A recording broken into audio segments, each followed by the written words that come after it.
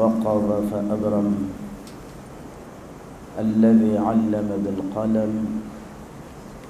علم الإنسان ما لم يعلم. وأشهد أن لا إله إلا الله. الذي وصف نوحا بأنه كان عبدا شكورا. ووصف أيوب بأنه كان أوابا صبورا. وجعل النار بردا وسلاما على إبراهيم فكانت له ضياء ونورا. وألقى قميص يوسف على وجهه يعقوب فارتد بصيرا. وأرسل سيدنا محمدا شاهدا ومبشرا ونذيرا وداعيا إلى الحق بإذنه وسراجا منيرا.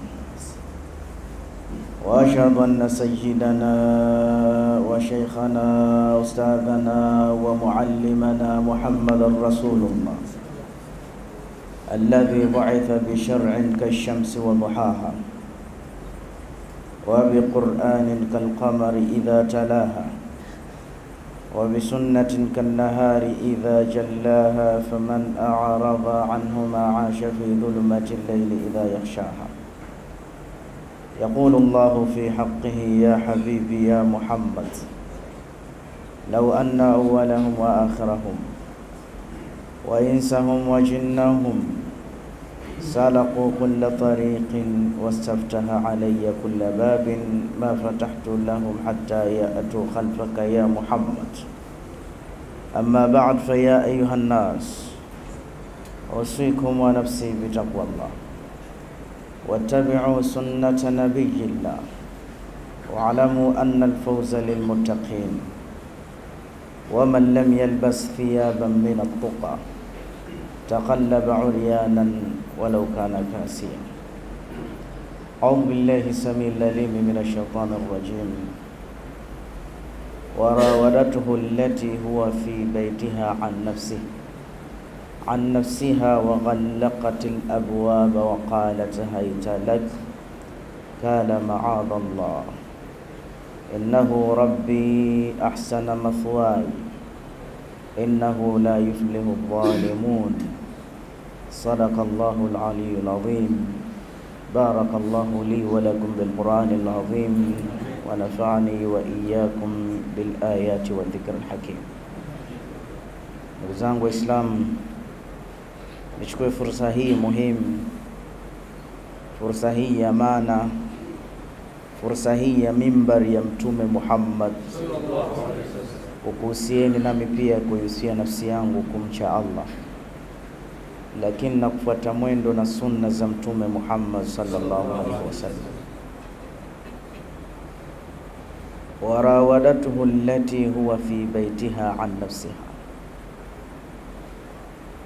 Sayyida Sulaikha alaiha salam, ubinadamu ulimchukua akamtongoza na akamshawishi na akamtaka Saidina Yusuf kutokamana na nafsi yake. Waghallaqatil abwaba, na akakomelea milango kukusudia jambo baya la ubakaji. Waqalat haita lak, akasema nipo tayari kwa ajili yako, njoo ufanye ninachokitaka katika mahusiano. Waqalat haytalak qala maadha Allah. Nabi Allahi Yusuf alinukuliwa na Qur'ani akisema maneno ya kishujaa, maadha Allah, najikinga kwa Mwenyezi Mungu.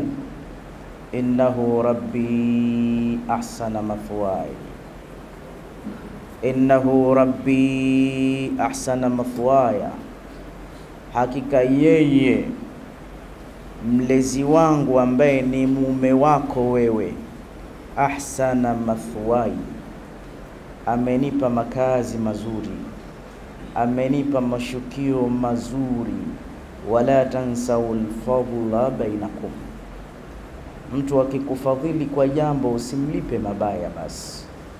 Anakumbuka fadhila Nabii Yusuf. Na miongoni mwa elementi za hekima ni mtu kukumbuka fadhila.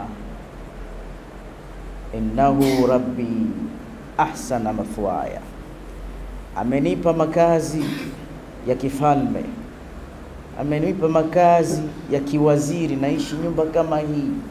Na mimi min albadwi, metokea majangwani huko Kanaani, nilitaka kufa maji kisimani. Innahu rabbi asana mathwai, akaogopa kumzini mke wa bosi wake, na wakati mimi na wewe tuna mpango, na ikitokea hiyo fursa huiachi.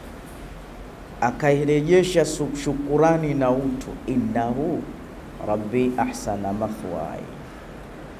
Mtihani mzito huu, spams zikiwa open, nani anaweza akazuia? Gharizatun, mtu akitatizika, nani anaweza akazuia? Ufikiri matamanio ni jambo dogo?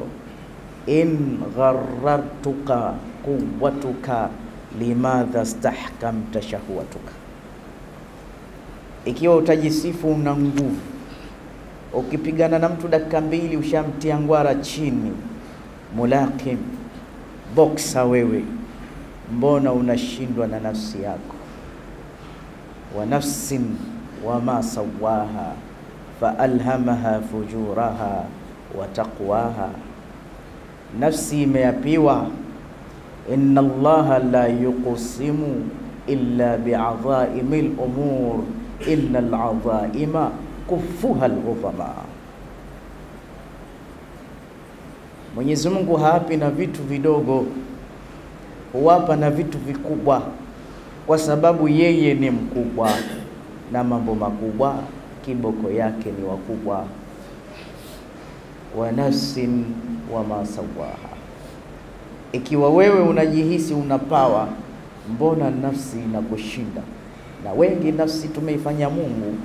afaraaita man ittakhadha ilahahu hawa Hujamwona yule ambaye nafsi yake kaifanya Mungu anaiabudia. ahaqu yurjam min alibil, usifikiri kinachonunuliwa kamba ili kikokotwe ni mbuzi na kondoo peke yao. Cha mwanzo kununuliwa kamba, annafsu kallati tahmilu baina jambaika, roho yako, nafsi yako, moyo wako.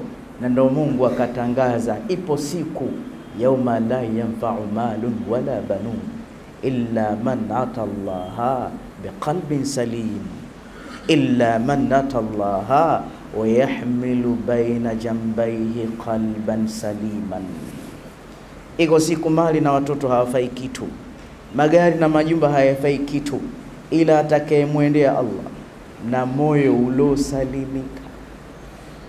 Laisa shadidu bisra walakinama shadide man yamliku nafsahu inda lghadab, si kitu rahisi.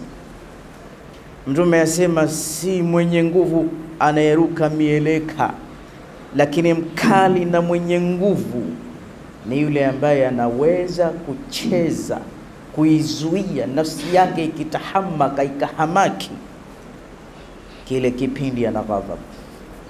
Umempiga mkeo makofi kwa sababu umeshindwa kuizuia nafsi yako umetukana watu kwa sababu umeshindwa kuizuia nafsi yako. Unakwenda jela, umebaka kitoto na kukinajis sababu nafsi imekuchukua. Umezini mara kumi sababu nafsi yako. afaraita man ittakhadha ilahahu hawa fa amma man utiya kitabahu biyamini, atakayepewa kitabu kwa mkono wake wa kulia, fayaqulu ha umukrau kitabia atakayekipewa kitabu chake cha mkono wa kulia fasaufa yuhasabu hisaban yasira wa yanqalibu ila ahlihi masrura, atakutanishwa na familia yake Kiyama akiwa anacheka na furahi, na hesabu yake itakuwa nyepesi. Kwa nini?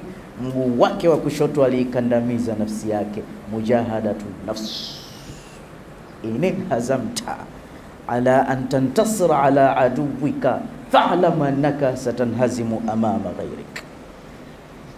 Ikiwa utashindwa kupiga vita nafsi yako, hakuna adui utakayeweza kupambana naye. Anza na nafsi yako isikushinde. Nabi Allahi Yusuf, kwa nini? Kwa sababu anaikontrol nafsi, kwa sababu nafsi tumeziachia, zinakula zinapotaka, zinalala zinapotaka. Nafsi ya Nabii Yusuf haiko hivyo. Mwanamke, unajeuri gani wewe? Akuambie hai talak, niko kwa ajili yako mimi.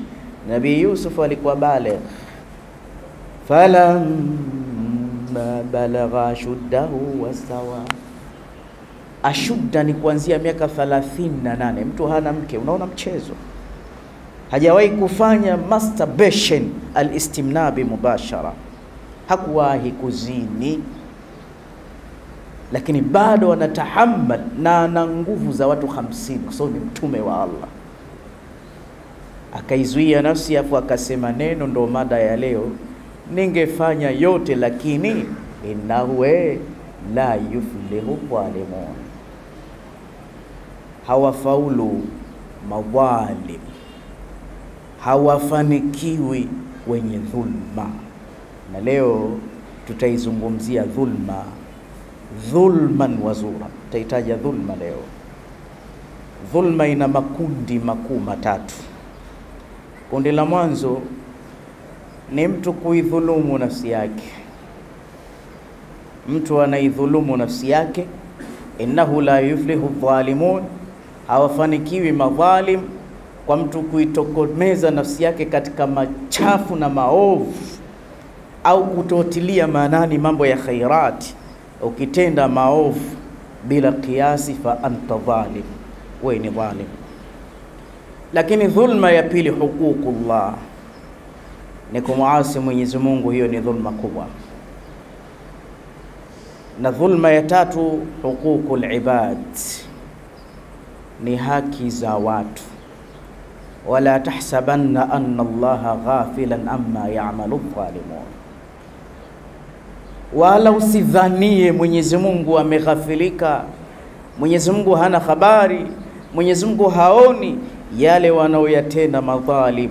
Wama lidhalimina min ansar, na watu madhalimu wote hakuna hata mmoja wa kuwanusuru. Leo dhulma zimejaa, ndugu zangu wa Kiislamu, katika huququl ibad. Tumefanya dhulma nyingi kwa Mwenyezi Mungu, haitoshelezi sisi kwa sisi viumbe, wallahi tunadhulumiana sana. Ukiwa ndani ya khutba ya Ijumaa, naomba nikukumbushe nafsi yako dhulma uzozitenda uziache, na mimi kama ninazo za kwangu nikome nazo mara moja, kwa sababu sunnatillahi fil ardh, mwendo na system ya Mwenyezi Mungu katika ardhi. Ukiona pahala panafanywa dhulma, ikemee mapema sana. Ukiona watu wadogo wanadhulumiana wao kwa wao, ukiona katika taifa, katika nchi watu wanaishi kwa dhulma, ukiona msikitini kama hapa Buguruni Sheli kuna dhulma ndogo ndogo, pengine za ulaji sadaka, pengine za, za mambo kadha kadha, kwa mfano wake na misikiti mingine, ukiziona dhulma zile, ukinyamaza kimya, umekwisha. Watu wasiporejeshana katika masala ya dhulma Mwenyezi Mungu anawaletea dhalimu mkubwa zaidi, anawasaga wote kwa pamoja. Bani Israil abnaul anbiya, Bani Israil ni watoto wa Saina Yaqub au ni asbat, katika riwaya ni wajukuu zake. Banu Israili hakuna shaka ni kizazi cha mitume. Katika historia hakuna kizazi kilishawahi kudhalilika katika dunia kama hicho. Baada ya kupelekewa Jazar Firaun, walipelekewa mbabe Firaun, wa idh najainakum min ali firauna yasumunakum sua aladhab yudhabbihuna abnaakum wa yastahiyuna nisaakum wa fi dhalikum bala'un min rabbikum adhim. Firauni alikuwa anaua sana, alifanya mambo mabaya sana haijathubuti katika tarehe mtu mbaya kama huu aliwadhulumu kwa kiasi kikubwa, lakini wao ndo walianza kufanya dhulma. kanu yaktuluna anbiya Allahi bighairi haq dhalika bima asaw wa kanu ya'tadun, walikuwa wapinzani wa mitume, walikuwa wakiua mitume. Siku moja wameua mitume sabini ya Allah, Banu Israili. Wao ndo walikuja akamwambia Mtume Muhammad, nahnu qatalna almasiha ibn Maryam, nahnu qatalna almasiha ibn Maryam, usituone sisi, sisi ndo tumemuua Masihi mwana wa Maryam. Japo Mungu asema wama qataluhu ma qataluhu wama salabuhu walakin shubbiha lahum, hawajamua hawajamsulubu, walishabihishiwa, lakini walitaka kumuua. Na hata huyo Mtume sallallahu alaihi wasallam walimwekea, waliuliza anapenda nyama gani? Nyama ya mbuzi. Anapenda kula sehemu gani? Sehemu ya saki, sehemu ya muundi. Wakaitia sumu nyama wakampa Mtume. Mtume hajala, lakini wameua masahaba hawa. Mtume nyama ilimzungumzisha ikimwambia, inna liya masmum, mimi nina sumu, usile, ukila leo tu unakufa. Hawa hawa Mayahudi wameshindwa kutia sumu, wamemtuma mwanamke kamroga Mtume Muhammad, katafuta nywele za Mtume akazifunga mafundo kumi na moja akatabana, wa min sharri nafathati fil uqad. Wauaji wa mitume hawa walikuwa wanafanya hizi dhulma, hawakanyani. Mwenyezi Mungu akawasalitisha akawaletea dhalimu mkubwa Firaun, aliwatesa sana hawa. Kwa hiyo ukiona pahala pana dhulma, ikataze mapema ili mpate nusra ya Allah. Ukiona ndani ya ndoa yako mnafanya dhulma, ikatazeni mapema, ikataza hiyo dhulma mapema, kwa sababu ataingia dhalimu mkubwa, ataisambaratisha hiyo ndoa na atakuweka pabaya zaidi. Ndugu yangu Mwislamu, leo dhulma tunazozifanya sisi, mfano kama sisi kina baba, wako baadhi ya watu tabia zao wanawa wanawanyanyasa sana kina mama, wanawatoa machozi sana wanawake. Wako baadhi yetu tabia zetu kuoa na kuacha, tabia zetu, na tunajuana na dini tuliokuwa nayo. Tena unamwacha mwanamke wakati mbaya sana. Hii ni dhulma. Hii unamsubiri mwanamke, unamharibia usichana wake, kisha baada ya kumharibia usichana wake unamwacha mtoto mdogo akiwa na mimba unamwacha mtoto mdogo akiwa na vitoto viwili, anaondoka kama mjane mwanamke, ametalikiwa mwanamke, tena unamfukuza na ushaoa wanawake saba, wote umewaacha. Hivi kweli hao wana matatizo? Mtume aliona mapema akasema, Mwenyezi Mungu hampendi mwanaume anayependa kuonjaonja, huyu anafanya dhulma. Huyu. Wewe unamjua mtu huyu ana ila, akioa leo anaacha. Tena anawaacha wanawake katika mazingira mabaya sana, ila hiyo hela ya kuolea anayo, anamchezea siku mbili tatu, anamwacha. Na wewe unamjua. Na unampeleka huyu, anaenda kuposa, na unamjua matatizo yake, ushamposea mara kumi mara ishirini, anaendelea kufanya dhulma.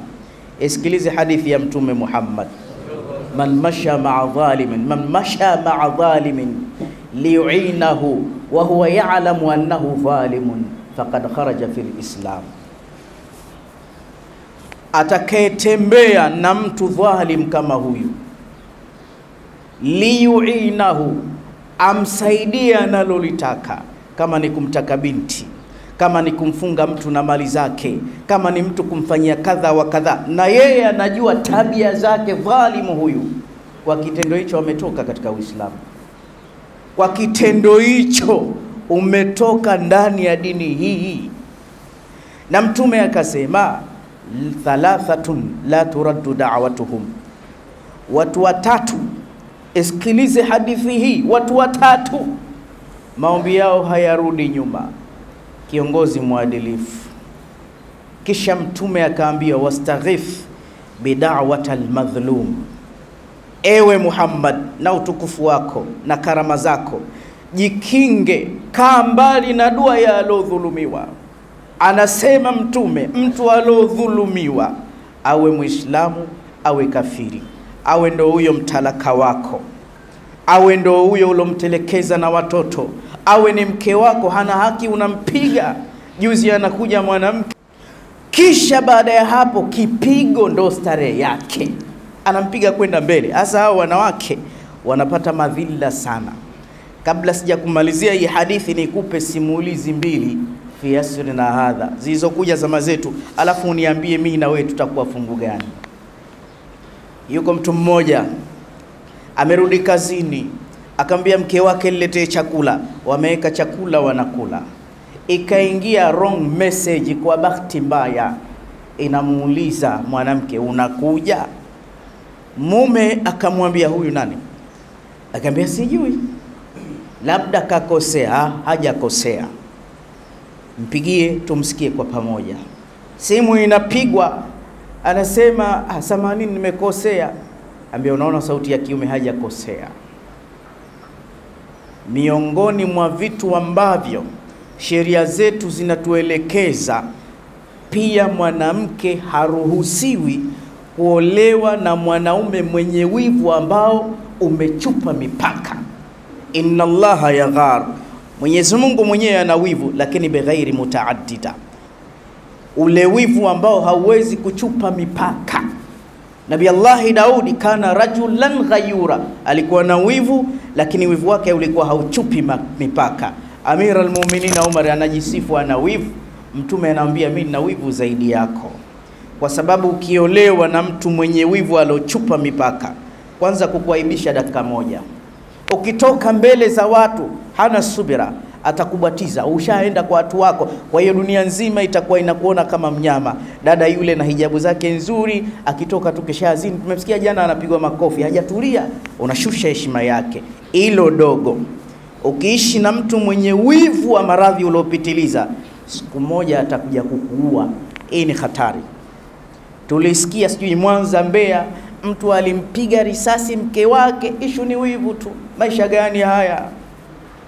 Unaweza kumnunua mtu wewe, mke wako akikukosea mseme, amekukosea mtenge. Ikiwa imekuwa too much, bakora kubwa, mwache aende kwao. Sio ngoma ya kupiga hii. Hatukumwona Mtume akiwapiga kwa kiasi hichi wanawake. Wanawake wanapigwa. Huyu bwana baada ya kugundua meseji kampiga sana binti huyu. Binti anasema fanya research, mume wangu Angalia kwa umakini mume wangu. Hakuna cha umakini, kampiga kampiga. Jibu lake chakula chake kala yeye, mke wake kalala njaa.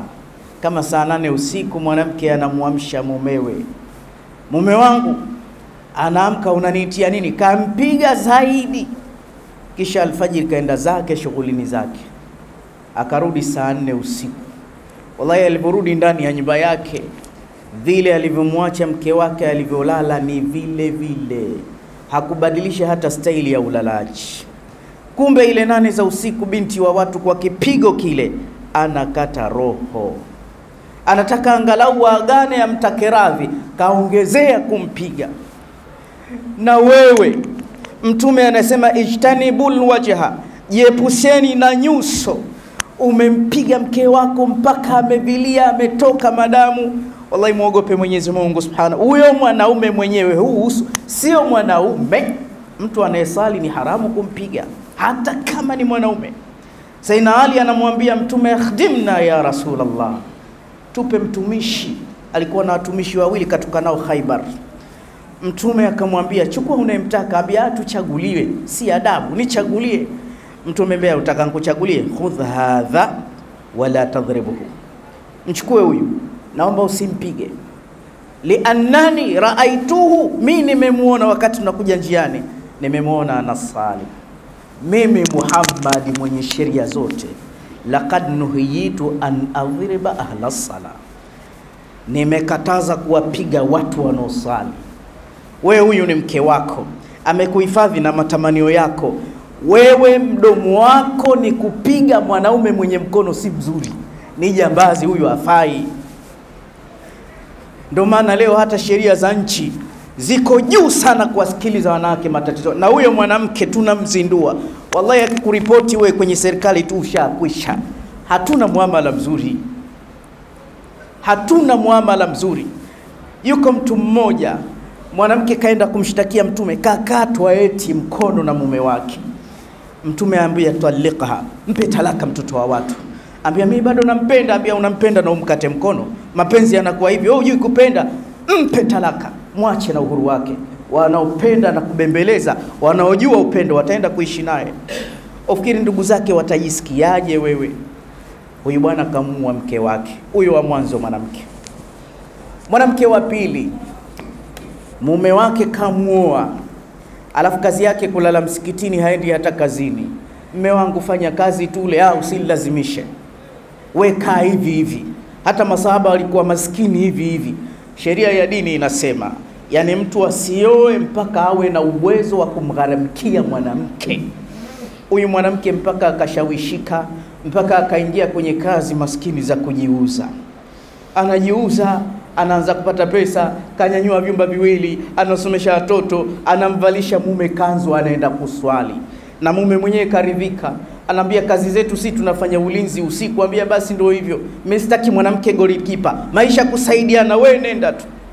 Baadaye mwanamke kawa mjamzito, kajifungua kwa operesheni akaambiwa na madaktari, miezi sita usifanye kazi ngumu, hata mume wako usikutane naye, ni hatari kwako. Sasa kakaa ndani, haendi tena kujiuza, maskini. Anaambia mume wake, nahitaji supu, nahitaji kadha wa kadha, nenda. Akaambia mimi siwezi mambo magumu, jikaze hivyo hivyo, nitakubebea mtoto, nenda kazini. Hajui kazi ya mume wake, hajui kazi ya mume wake. Mwanamke anakwenda anakamatwa na kidonda cha usaha, baadaye kinafumuka, anaoza. Mwanamke yuko hospitalini, mwanamke analia, yupo sakaratil mauti, anasema wallahi, leo nakufa, mpaka leo mume wangu hajui kazi yangu nini ninafanya, mpaka leo hajui. Sasa Mtume anasema yoyote aliodhulumiwa, yoyote aliotendwa, atakaopoomba dua, Mwenyezi Mungu anainyanyua hii dua ilal ghamam mpaka katika mawingu, thumma yuftah abwabu sama, kisha ile dua inafunguliwa milango ya mbingu, kisha Mwenyezi Mungu anasimama kwa dua ya alodhulumiwa, alafu Mwenyezi Mungu anatangazia dua ile, anatangazia kilio kile, anasema la ansurannaka walau baada hin, nitakupa ushindi angalau baada ya muda. Maana kuna mtu anamdhulumu mtu kisha anasema dua la kuku alimpati mwewe. Haya ndio kimetokea nini? Allah asema usighafiru wala tahsabanna anna Allaha ghafilan. Ukiwa unasema sijapatwa na chochote, umemdhulumu huyu pesa zake na huyu umemdhulumu na unazidi kuongeza, usiseme ashaisha. Mwenyezi Mungu anakwambia bado sijasahau. Maanake Mwenyezi Mungu anampa muda kwanza mwenye kudhulumu, mwenye kucheza vibaya na watoto, mwenye kucheza vibaya na wanawake, anampa muda ili akimkamata hatoki kabisa. Mwenyezi Mungu hajaghafilika. Sasa tizama, ikiwa dua imeombwa ikafika mawinguni imestop, yuftaha bawaba samaa, kisha Mtume anasema inafunguliwa milango ya mbingu, kisha Mwenyezi Mungu anasimama. Anaiambia ile dua na yale malalamishi, la ansurannaka walau baada hin. Unaonaje hapo Mwenyezi Mungu akisimama akifungua milango ya mbingu, anakutana na dua na machozi ya mwanamke mjane aliofukuzwa, anakutana na machozi ya mwanamke ulomtelekeza, anamuomba Mwenyezi Mungu Subhanahu wa Ta'ala. We ni lazima utaharibikiwa sana mambo yako, ndugu yangu Muislamu, tusiishi kwa dhulma. Mtume anasema fattaku dhulma Ogopeni sana dhulma, fa inna dhulma dhulmatu yauma alqiyama, hii dhulma ni kiza siku ya Kiyama. Fa inna dhulma la tadumu fa indama damara, dhulma haidumu hata kidogo. Na ukiona kama unaendelea kwa dhulma, basi ujue inakudamirisha hiyo dhulma hiyo. Wama lidhalimina min ansar, kila mmoja atizame haki zake hii ni ya kwangu, basi fanya hii, si ya kwako. Miongoni mwa dhulma, dhulma ziko nyingi sana Waislamu.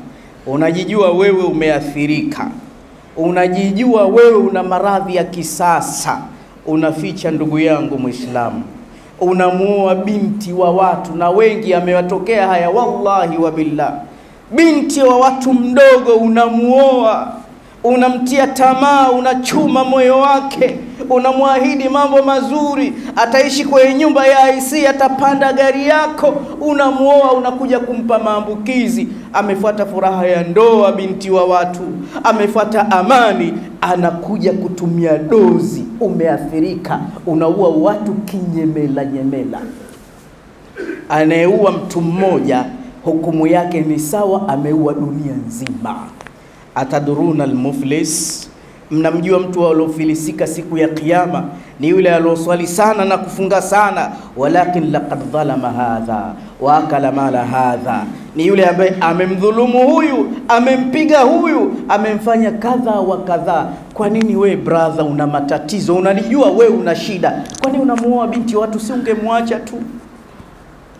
Lakini kuna watu wengine la haula wala quwwata illa billah man zana bimraatin mutazawija. Nisikilize mawili ninayoyasema. Baada ya dhambi ya shirki, dhambi nzito inayofuatia ni dhambi ya liwat. Hii ni dhambi kubwa mno, na Ibilisi anawapambia watu wengi sana dhambi ya liwat. Man zana bimraatin mutazawija, anayetembea na mke wa mtu akiingizwa kaburini mwake anaadhibiwa nusu ya adhabu ya dunia nzima peke yake.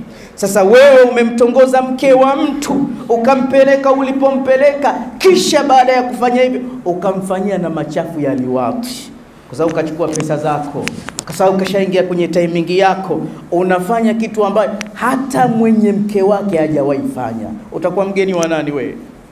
Yaani kuna baadhi ya watu uhai ukikatika hivi sasa moja kwa moja motoni. Yani kilichowazuia wao na moto wa Mwenyezi Mungu ni pumzi yao, yani ikikatika hata sasa hivi wanasubiriwa vikali na Mwenyezi Mungu Subhanahu wa Ta'ala, wama Allahu bidhallamin lilabid. Lakini unafanya hayo na unaendelea, ndugu yangu Muislamu, wa kulla shay'in ahsaynahu kitaba fadhuqu falan nazidakum illa adhaba. Hivi leo kuna baadhi ya watu umewafilisi, kuna baadhi ya nyumba za watu umewafunga watu na mali zao. Unauza viwanja we, unauza viwanja mara mbili, watu wanapoteza pesa zao, watu wanapoteza uchumi wao, huishi kula mali za watu. Ogopa dhulma, ndugu yangu Muislamu. Fattaqu yawman turjauna fihi ila Allah, iko siku watu wote tutakutana na Mwenyezi Mungu Subhanahu wa Ta'ala, lakini kuna kaburi watu wanapandwa hawakui. Ndugu yangu Muislamu, kwenda kwenda mpaka Kariakoo ni mbali, lakini akhera si mbali, sekunde tu unaweza ukakuta hivi. Kuna siku ngumu, unajua ni siku gani? La ilaha illa Allah, la ilaha illa Allah, la ilaha illa Allah Muhammadan Rasulullah. Hebu ukisikia uradi huo, hebu fikiria vizuri, la ilaha illa Allah la Hakuna siku ngumu kwako kama siku kama hii. Mimi mwenyewe kama khatibu, wallahi naiogopa naiogopa kama nini siku kama hii. Kwa nini unachukua mali za watu? Hapo ulipo unanuka damu za watu, unanuka shilingi za watu, unanuka mitaji ya watu, una dhulma wewe, una madeni wewe, na huna nia ya kulipa, unazidi kukopa. Eti kisa tonge unakopa na unabadilisha njia, na mtu akidai chake unamtukana, unamjia juu, unamgeuzia kesi.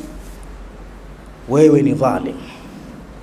Basi tambua machozi ya mtu yanayodondoka. Mwenyezi Mungu kila dua inavyokuja anaikubali, lakini kija dua ya mwenye kudhulumiwa, Allah anasimama anaifungulia milango, anaipokea Mwenyezi Mungu, kisha anasema tena, wala tahsabanna anna Allaha ghafilan amma ya'malu dhalimun. Umedhulumu mwaka uliopita mpaka hivi sasa una miaka mitatu na dhulma, unaona yashakwisha, hayajaisha mabichi Mwenyezi Mungu anatangaza kila leo, usidhani Mwenyezi Mungu kaghafilika, hawezi kusahau, anajua. Isipokuwa Mwenyezi Mungu tabia yake ajibu, anakupa muda maksudi uzidi kudhulumu, akikutia mkononi, wallahi mtoto. Leo tungekufa tungeona habari kubwa sana, lakini tutakuja kuziona. Fursa tunayo hivi sasa, ndugu yangu Muislamu, ni kutubu, ni kurudi, na hakuna kutubu ujanja ujanja Umechukua cha mtu ni kulipa tu, hamna njia nyingine. Umeiba simu ya mtu ni kumrudishia, hakuna njia nyingine. Hakuna kwamba niombeni dua, rudisha mali za watu. Umemchafua mtu heshima yake, hiyo nayo ni sehemu ya dhulma, rudisha mali za watu. na dhulma hata wanawake wanazozifanya ni nyingi pia.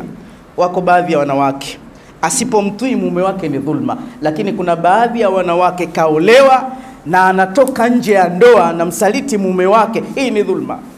Lakini pia anapata tumbo la ujauzito anaingiza ndani ya familia, hii ni dhulma. Na mtu baba analea watoto watatu wanne, kumbe si mali yake, hii yote hii ni dhulma. Siku ya Kiyama tutakimbiana, ndugu zangu Waislamu, tutakimbia. yauma yafirru lmaru min akhihi wa ummihi wa, wa abihi wa sahibatihi wa banihi. Tunaona vipindi vya uchaguzi vikifika, angalia wanavyodhulumiwa maalibino, kukatwa mikono yao kwa maslahi ya kura tu za watu, kwa kutafuta uongozi watu. Watu wanauliwa wazi wazi, wazee wanauliwa wazi wazi, walemavu wa ngozi wanauliwa wazi wazi eti kwa sababu ya dunia hii. Dunia mbona ni fatura basita, inapita kwa muda mchache kabisa. Tumwogopeni Mwenyezi Mungu Subhanahu wa Ta'ala juu ya dhulma. Nabii Allah Yusuf angeweza kuyafanya hayo, aliacha kumzini mke wa mtu, aliogopa dhulma, kwa sababu yule uliomdhulumu siku ya Kiyama atakuja. Wanasema hivi, mfano umemdhulumu mtu shilingi mia ya dunia leo, shilingi mia siku ya Kiyama hakuna kulipana pesa, hakuna kabisa kulipana pesa. Huyu ana uwezo wa kuchukua mlima mzito, jabali zito la thawabu kwa shilingi mia tu, so kule inakuwa ina thamani zaidi. Sasa wewe ushadhulumu watu wangapi? Nikwambie hutuba ya leo, alhamdulillahi. Mimi kama Uthman Michael niseme tena alhamdulillah, na wewe uwe hivyo, ndugu yangu Muislamu. Mimi cha mwanzo Manake kama umepata kitu kabla hujafanya ikram, yani kabla hujatoa zawadi kumpa mtu, ikramu kubwa, zawadi kubwa, kwanza alipa madeni ya watu. Kwanza ujue madeni yanafunga mikono. Mwenyezi Mungu anakopa senti, lipa madeni. Ukiwa huna pesa, shetani anakuambia jitahidi pesa ulipe, ukipata tu ulipa. Ukishapata zile pesa, unataka kuzikumbatia unazikumbatia zile pesa, ulipi kila siku. Muislamu una madeni tele wewe. Mtume amesema msikope, kwa sababu madeni yanalaza macho. Msikope kabisa kama hakuna sababu ya kukopa. Lakini kuna watu hawana hofu, anakopa mpaka riba, yaani yeye alimradi tu maisha yaende. Sio hivyo bwana. Hali yangu ilikuwa taabani. Miongoni mwa dua nilizokuwa nikiziomba maisha yangu, nilikuwa namwomba Mungu anipe pesa nilipe madeni yaani madeni yangu nilokuwa nkidaiwa, kwa sababu maskini sina uwezo nayo, nilikuwa nadaiwa elfu arobaini na moja lakini hizo elfu arobaini na moja watu kama ishirini, huyu mia tano huyu alfu. Alhamdulillah, nilivyotia mkononi tu, cha mwanzo mimi ni kulipa madeni, na hakuna kitu ninachokiogopa kama deni. Mpaka sasa nife leo sina deni, alhamdulillah. Ili la kwanza hili, labda kudai mimi. Na mtu nikimdai, tabia ya wanawachuoni, huyu namdai laki moja, umepita mwezi hakuniletea deni langu, basi na, na, nauliza huyu anadaiwa ngapi? Anadaiwa laki moja, namwambia futa hii elfu hamsini mwacha tumdai elfu hamsini na akizidi kuchelewa mpaka linafutika lile deni. Hii ndio mwendo wa wanawachuoni wanaopita. Kwa hiyo jambo la mwanzo kabisa, deni, ndugu yangu Muislamu, hichi nilipambana nacho kabisa. Jambo la pili, shahana, ugomvi, chuki hakuna mtu tumetatizana hata mmoja, alhamdulillah. Sasa na wewe ndugu yangu Muislamu, jambo la mwanzo leo, jitahidi sana kulipa madeni Muislamu, na hii ni aibu. Mtu ni Muislamu anadaiwa na hata hakumbuki kulipa, na si kwamba pesa hana, ila ukiendelea kutokulipa, baadaye Mungu anakutilia mambo yanakuwa magumu zaidi. Lipa madeni ya watu kama wewe umemwamini Allah na Mtume Muhammad. Mtu akikukopesha si kwamba hana haja nacho. Mwingine anakusisitiza yahe, huu mtaji wa watu huu mi nakupa tu, lakini hii lawama hii nakuletea, ndo moja kwa moja umemtosa. Unamsumbua mtu amekufanyia ikramu, huu si ungwana. Muislamu hawi hivyo, hata kama kukopa ni suna. Mtume alikopa hivyo, msome Mtume alikopaje, alilipaje.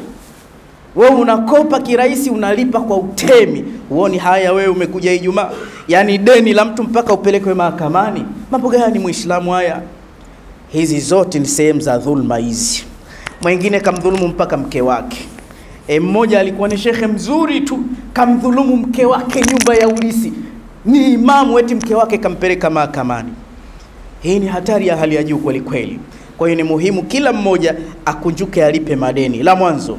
La pili, alochukua cha mtu arudishe mapema sana na yule mtu ambaye katembea na mke wa mtu kwa ajili yake, hiyo toba hiyo, mwambie Allah, hii dhulma hii hii nayo pia vile vile inasubiria siku ya Kiyama. Hakuna asiojua mke anauma vipi. Hili aliliogopa Saidina Yusuf, na yote atakayemkwepa mke wa mtu insha Allah atafufuliwa pamoja na Saidina Yusuf siku ya Kiyama. Lakini anayetembea na wake za watu na mabinti za watu, huyu vile vile moto unamsubiri.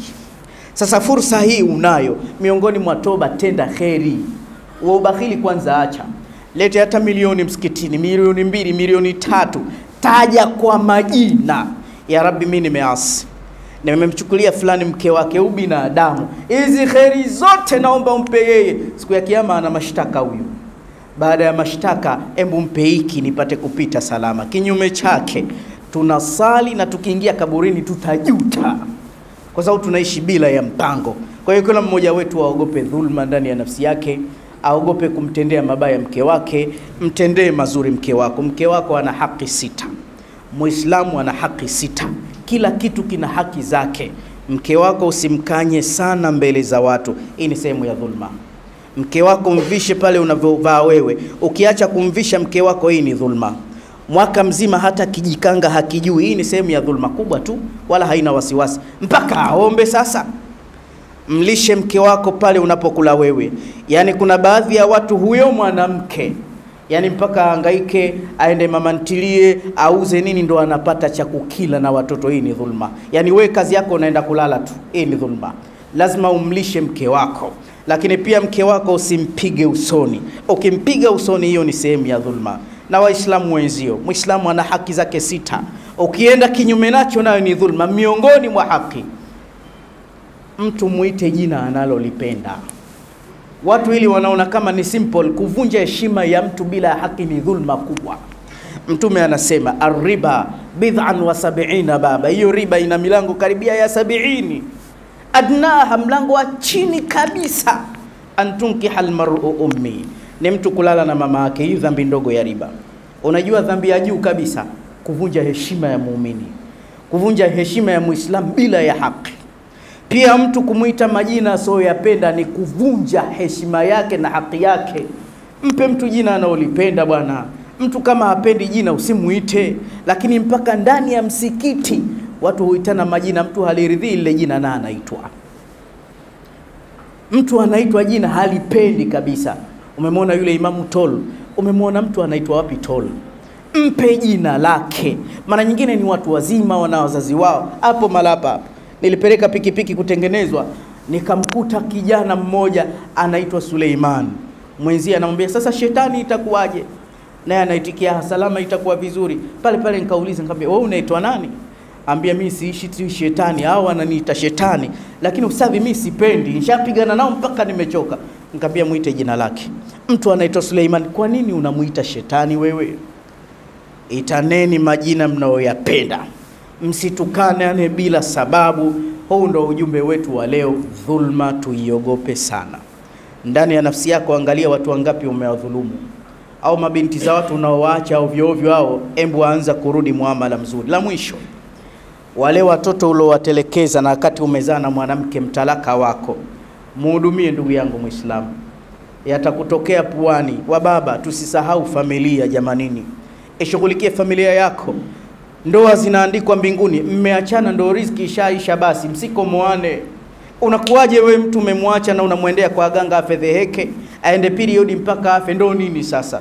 Mwombee kheri, usisahau fadhila za siku mbili, si mliishi pamoja? Mpende, lea watoto. Wallahi, kuna baadhi ya baba hawawajui watoto hivi. Unajijengea nini baadaye katika maisha ya baadaye? Sawa, ugomvi, ndoa ishaisha, kuna watoto baada ya hapo, kuna maisha mengine yanaendelea. Watafute watoto, walee watoto, na hata wale wakwe wako wa zamani wafanyie ikramu, ihsani. Huu ndio Uislamu. Huu ndio Uislamu. Hakuna kusema hatuzungumzi, hatuongei mpaka watoto unatelekeza. Mtoto darasa la kwanza chekechea mpaka la saba mpaka chuo hajawahi kuiona hata ada ya baba yake. Ni wajibu wako, si lazima mtalaka wako akumbushe. Muislamu mzima we eti matunzo ya watoto wako eti wanaenda kuchukua ustawi wa jamii. Mambo gani haya? Eti mwanamke tumeenda kushtakiana kule, pempas za mtoto unapeleka ustawi wa jamii. We kila tarehe fulani nenda, watoto wako unapeleka ustawi wa jamii. Acha dhulma, Muislamu, muogope Mwenyezi Mungu, kufa kwaja. Dhulma ni kiza siku ya Kiyama, na Mwenyezi Mungu amejalia mambo yanaanza hapa hapa, malipo yake utakufa kifo kibaya. Wanasema miongoni mwa watu watakaokufa vifo vizuri, wa mwanzo anayeunga kizazi, wa pili anayeshikamana na Qur'ani, wa tatu anayetenda wema. Lakini miongoni mwa watu watakaokufa na vifo vya udhalili, atakufa waliyadhu billah, atakanyagwa na skeni ya sura yake hamtoiona, kinyesi kitamwagika barabarani, atakufa na maradhi ya kuendesha na ukimwi huyu. Halafu hana kumstiri isipokuwa ni binti yake au ni majirani huku anamnanga, atakufa dhalili na aibu.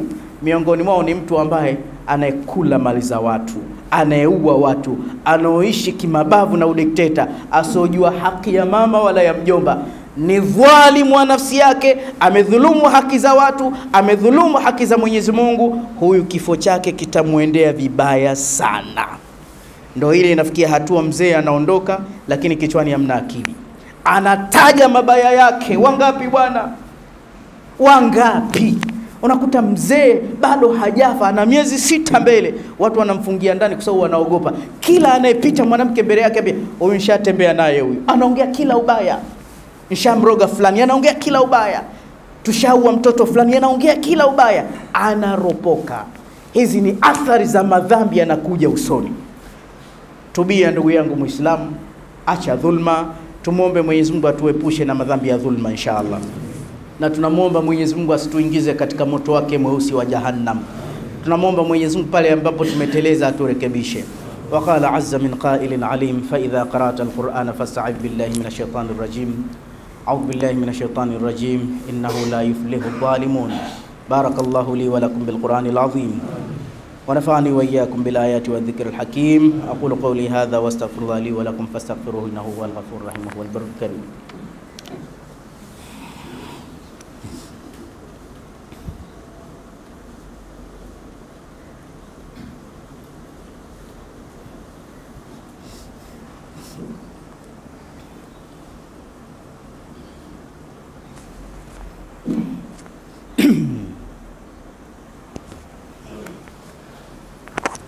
الحمد لله وحده والصلاة والسلام على من لا نبي بعده إخوة الإيمان أوصيكم ونفسي بتقوى الله واتبعوا سنة رسول الله Ndugu zangu Waislamu, kuwekana sawa tu na tushamaliza hutuba tena, nikuhusieni nami kuihusia nafsi yangu kumwogopa Allah na tufuate mwendo na tutekeleze sunna za Mtume Muhammad.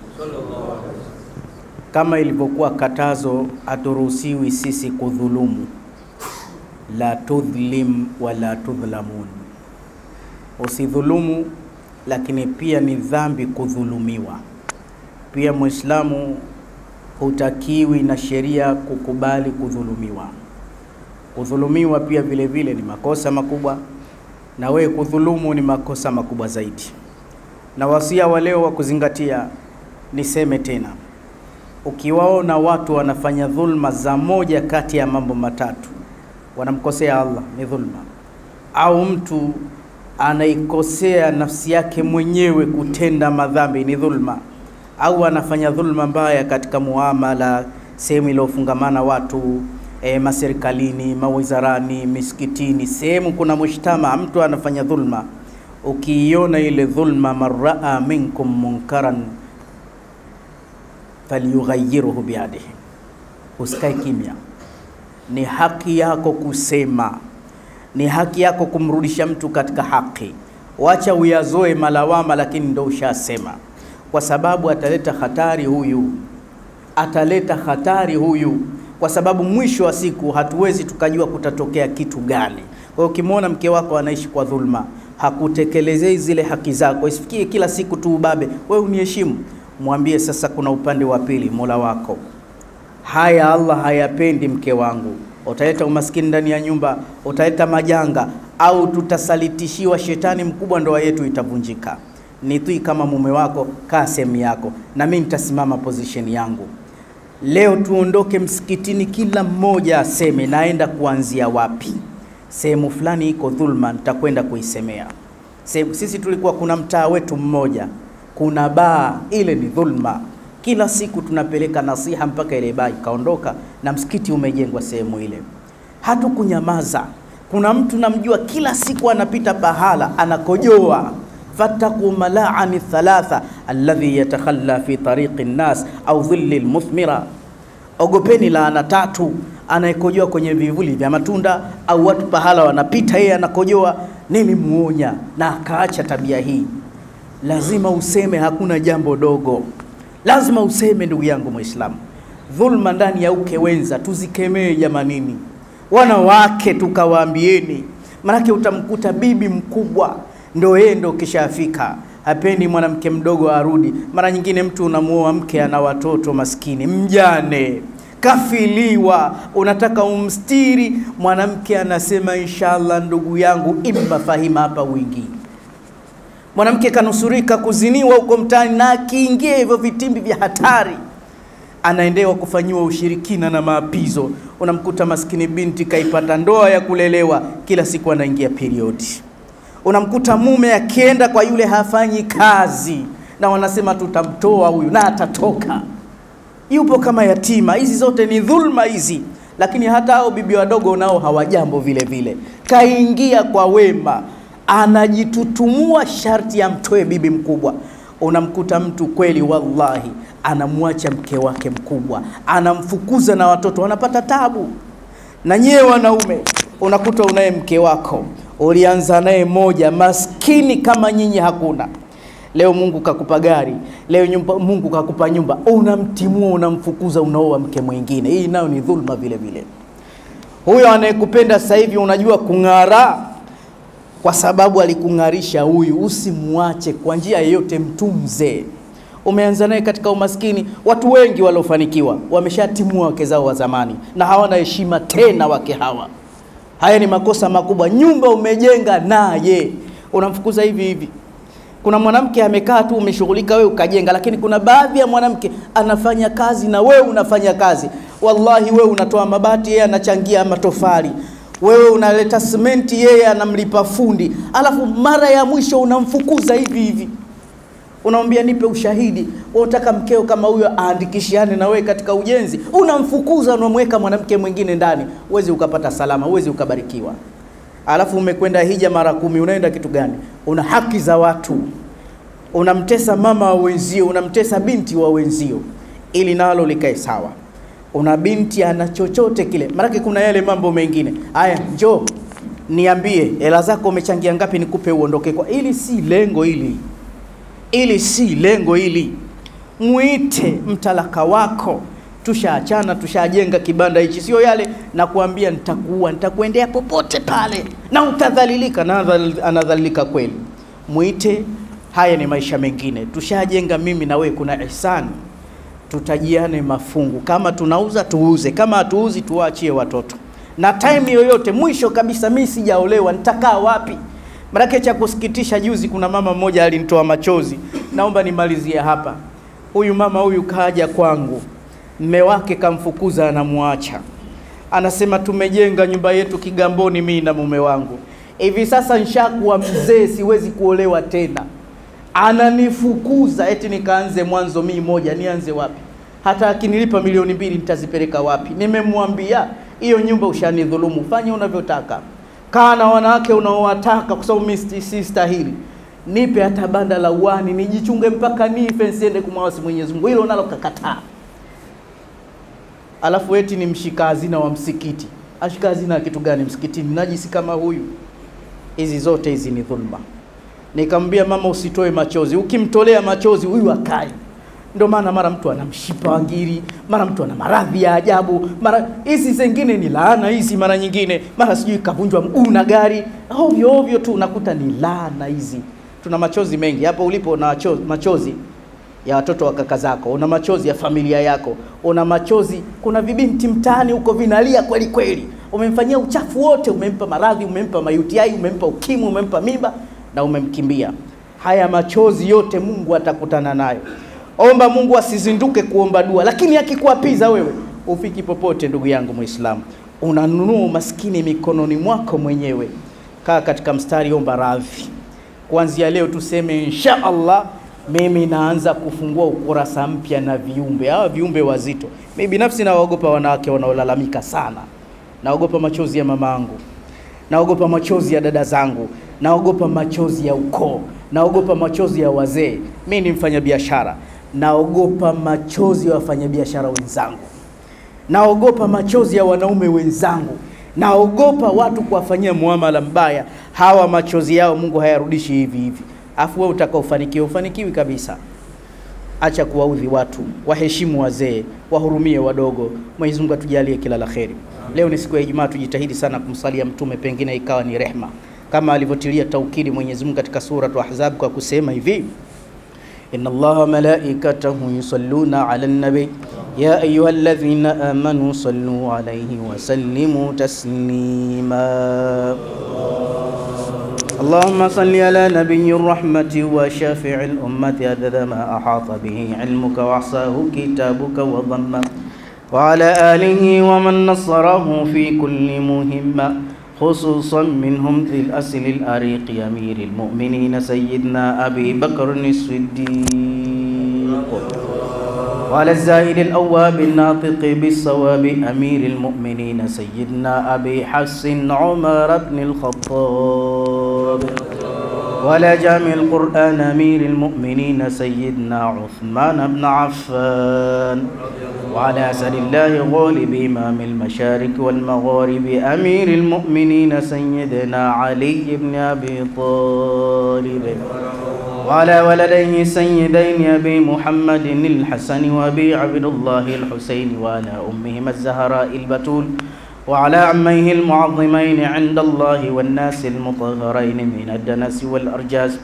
أبي عمارة همزة وأبي الفضل العباس وعلى بقية العشرة المبشرة الذين بايعوه تحت الشجرة طلحة الفياس والحواري الزبير وسعد الهدى وسعيد الخير وعبد الرحمن الزكي شاكر وابي عبيدة الزاهر زاهر رضوان الله تعالى عليهم أجمعين إلى يوم الدين.